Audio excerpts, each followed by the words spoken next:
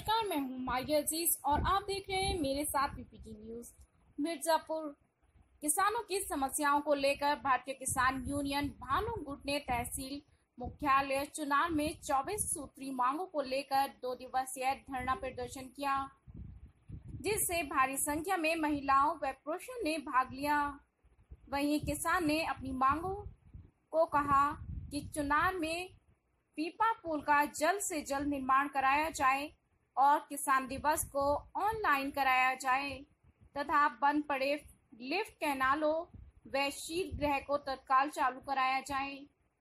साथ ही गरीब किसानों को सरकारी आवास भी दिलाए जाए।